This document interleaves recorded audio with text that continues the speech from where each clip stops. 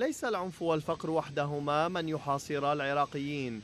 ها هي النار تأكل آلاف الدنومات المزروعة بالحنطة والشعير والتي كانت أملا لكثير من المزارعين لكن كل ذلك ذهب أدراج الرياح. تزامن اندلاع العديد من الحرائق في محافظات صلاح الدين وديالا ونينوى والتأميم اعتبره الكثيرون حدثا غير عابر. ورغم إلقاء كثيرين التهم على تنظيم الدولة إلا أن لجنة الزراعة البرلمانية اتهمت جهات خارجية وداخلية لم تسمها بالوقوف وراء عمليات الحرق لمنع العراق من الوصول لمرحلة الاكتفاء الذاتي من محصول الحنطة.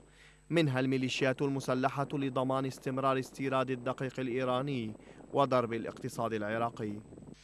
هذه ليست المرة الأولى التي تتعرض فيها الثروات الزراعية والحيوانية في العراق لعمليات مماثلة.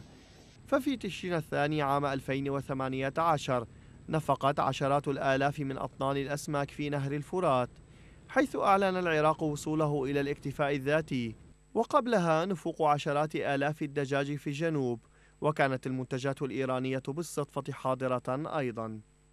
بالمقابل لدى وزارة الزراعة رأي آخر فقد كشفت أن النيران التي اشتعلت في المناطق الزراعية ناتجة عن إحراق مخلفات حقول الحنطة وليس لها علاقة بأي أعمال تخريبية.